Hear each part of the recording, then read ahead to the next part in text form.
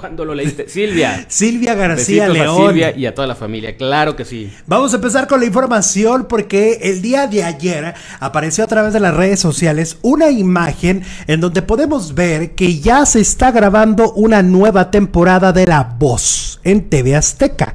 Recordemos que hay como derivados de La Voz, ¿no? Una cosa es la voz principal que siempre vemos que la veíamos en Televisa, que ahora la vemos en Azteca, y hay el derivado que es La Voz para niños y la voz senior, que es como para adultos más, más grandes. mayores, ¿no? Mayores de 60, algo así. Mayores de 60 que quieren y encuentran una oportunidad importante en la voz para realizar su vocación, ¿no? Fíjate qué importante me parece ese programa, me parece un programa muy valioso. La temporada pasada a mí me fascinó porque creo que es uno de los aciertos que puede tener TV Azteca, donde el mismo formato le pueden dar una, una ¿cómo se dice? Una refrescada.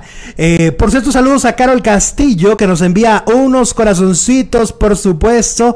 Hasta Los Ángeles le mandamos un abrazo a Carol Castillo. Gracias, Carol. Entonces, Ahora, pues, están grabando ya la nueva temporada y para sorpresa de muchos, Cristian Nodal no va no va y no va. Hay imágenes que se filtraron de los coaches. Está Ricardo Montaner por enésima ocasión. Está Belinda. Está María José. Y está Jair. la Nodal. Ajá. No está Cristian Nodal. Dirían los malpensados. Él no va a estar. Yo no sé si no les alcanzó, si es muy caro, si ya no quiso. ¿Quién sabe por qué? ya va a empezar a dar conciertos. Ya ves que muchos ya están empezando a dar conciertos. Es cierto.